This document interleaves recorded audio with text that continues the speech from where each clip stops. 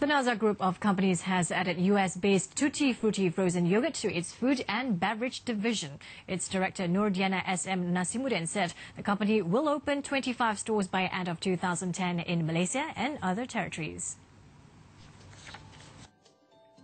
The group, which aims to open its first outlet in a major shopping mall in Klang Valley in September, is also the master license holder for Tutti Frutti in Singapore, Thailand and India.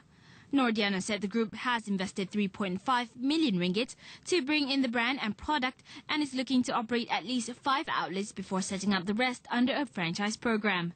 She was speaking to reporters after the signing ceremony between the Naza Group and Wellspring Incorporated, the founder of Tutti Frutti. Meanwhile, the group's food and beverage division general manager Zain Azrai Azhazimin said immediately after launching the first outlet, they would be going to Singapore to operate the first outlet there. Currently, we are uh, evaluating the situation. Um, certain countries, uh, like for Singapore, um, we intend to operate um, initially.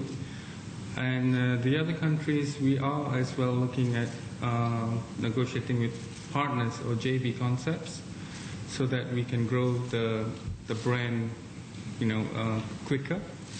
Um, if I would say certain countries, especially Singapore, the market is already ready. For other countries, the group is looking to have partners for joint ventures to set up outlets. Zain Azrai said the group would also be adding more flavors to the frozen yogurt to cater for local taste.